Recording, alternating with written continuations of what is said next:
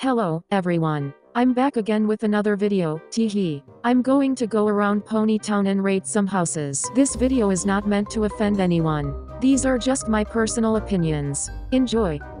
We're going to have three categories on a scale of 1 to 3, and a bonus point for creativity. Let's see how much these houses will get from 1 to 10. House number 1. The first thing I have to say is that this house looks very messy. It looks quite weird and unorganized. The colors are all over the place. This doesn't look like a zoo slash pet center much. If I'm being honest, I can't tell what each room is meant to be when I first walk in. The space isn't used well. If you've seen my last video, I said I don't like bland, empty, big rooms. They're so unnecessary. I do like how creative this is, because I've never seen a zoo slash pet center in Pony Town before.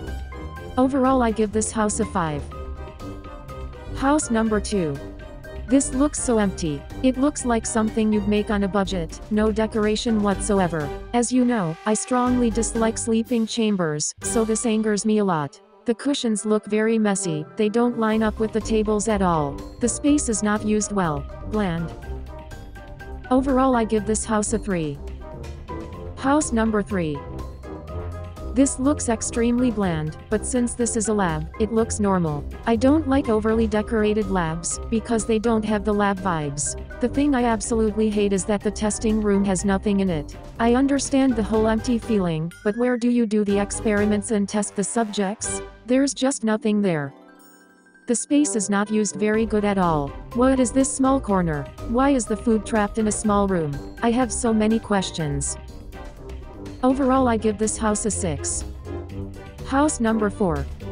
This house is very, very confusing. This doesn't look like a fashion roulette map at all. It looks like you tried to mix in 5 different types of houses in one. It's nice to have multiple things in a house, even if it isn't a standard living home, but this is just so confusing. Usually, fashion roulette houses have a runway or somewhere to show off your outfit and changing rooms, so you don't see what other people are doing. The cushions are so messy and all over the place. It just doesn't work.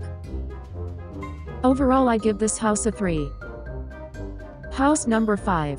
The first thing I have to ask is what is this cushion madness? I'm not sure what it's meant to be. The library cushions are hideous, they're everywhere. I will literally break a pencil if I see another house with sleeping chambers. With all of the space used for the unnecessary big space for beds in the pool, you could easily have great dorms. I don't really like the flooring in the classroom, it's very dark and doesn't match too well, although I do like how unique it is. What I don't think this is a bad school, it's not the worst I've seen. There is room for improvement, but this doesn't feel empty.